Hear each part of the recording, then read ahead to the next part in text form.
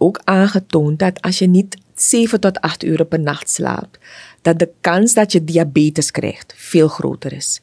Dat de kans dat je overgewicht krijgt veel groter is. Zelfs dat je uh, uh, langere tijd slaaptekort in je leven leidt ook tot dementie. Kan ook leiden tot dementie op latere leeftijd.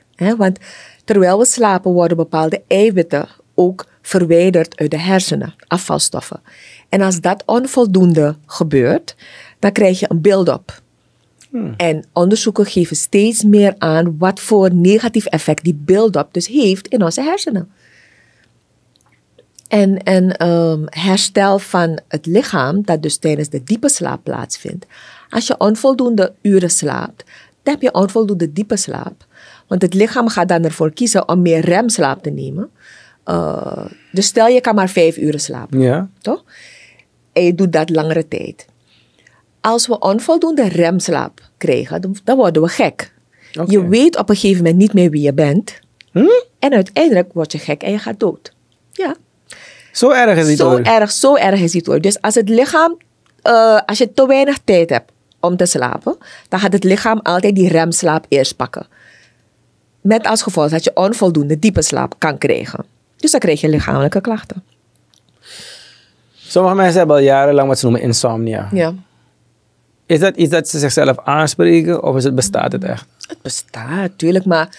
Ja, maar eeuwig is het, ja, ik heb slaapproblemen. Dus ik weet niet, het wordt mm-hmm. makkelijker gegrepen daarna dan ik denk. Mm. Of ik onderschat het, ik weet het niet. Ik denk dat je het misschien onderschat, want ik denk dat veel mensen last hebben van insomnia. Ongeveer een derde van de samenleving What? heeft last van insomnia, ja.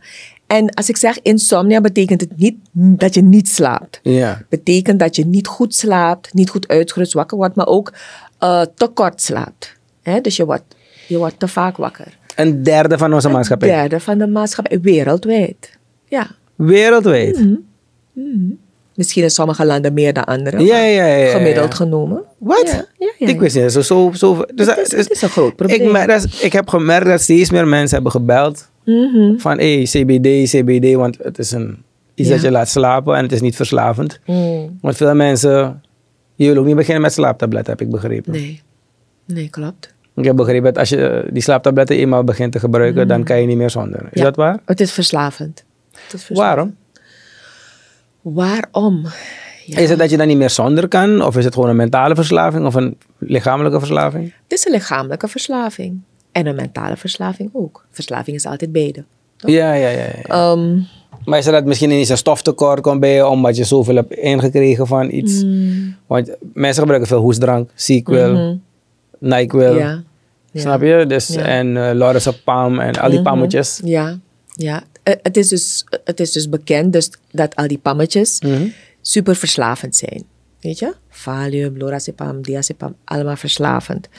Dus um, wat het doet is het vertraagt je hersenen. Dus je wordt kalmer. En omdat je kalmer wordt, dan kan je dus makkelijker in slaap vallen. Oh, dat is wat dus, het doet. Dus op een gegeven moment dan, dan kunnen mensen dus zichzelf, of je kan niet meer kalm genoeg worden zonder die medicatie om te kunnen slapen. Dat is dus die afhankelijkheid. Het is ook gewoon echt een lichamelijke afhankelijkheid. En wat, wat kan er met jou in de long run gebeuren bij het slikken van deze tabletten? Oh, je bent dus eigenlijk uh, ja, afhankelijk. Je kan niet meer mhm. slapen zonder.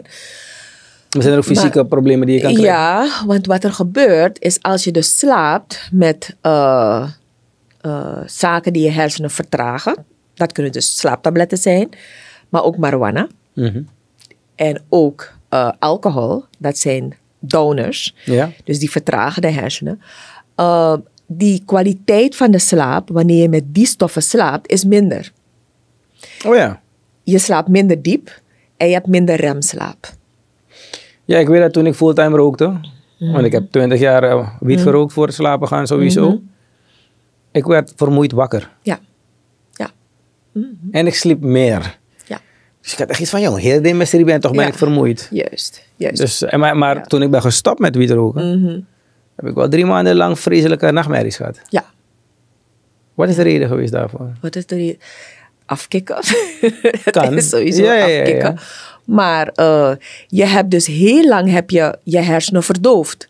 Ja. Dus ze hebben dat, dat, dat, dat, dat wat nodig is, Mhm. dat dromen om dus te verwerken, hebben ze niet gehad. Dus het kan best dat het een soort van inhaalslag is, is eh, geweest. Ja, ik moet wel zeggen, wanneer ik ga, rookte, dan, dan droomde ik meer. Dus waarschijnlijk sla je dan die diepe slaap over. Dat is wat ik denk hoor, want als Ja. ik erover nadenk, had ik juist altijd wel dat ik droomde. Ja, Maar ik was vermoeid wakker. je was vermoeid wakker. Ja. Ja. dus die diepe slaap is dan minder. Eh, wiet eh, snijdt ook in je remslaap.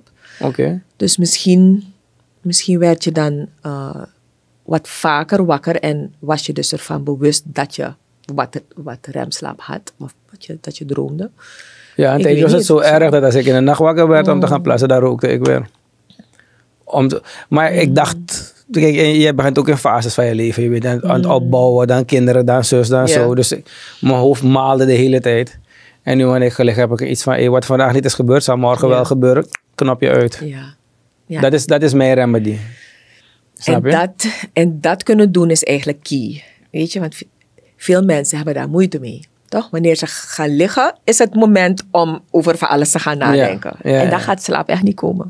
No, no, no, no. no. Bij, mij is het echt van, hé, hey, brada, je hebt al de hele dag gewerkt, je hebt je dingetjes gedaan, morgen weer. Ja, Maar dat moest ik mezelf wel aanleren. juist, ja. Ja, Dat moest, Maar is er iets dat je bijvoorbeeld voor... Kijk, ik denk niet dat iedereen direct naar een psycholo psycho- psycholoog moet gaan of wat. Zijn er simpele steps die je kan aanbevelen van, om, om betere nachtrust te krijgen? Oh ja, zeker weten. Kijk, punt 1 is geef het prioriteit, weet je. Maak slaap tot iets dat ook belangrijk is voor jou. Dus dat betekent dat je je dag zodanig gaat plannen dat je je 7 tot 8 uur slaap gaat krijgen. Toch?